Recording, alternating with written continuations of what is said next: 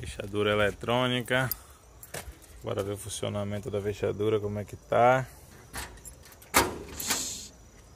Leve demais.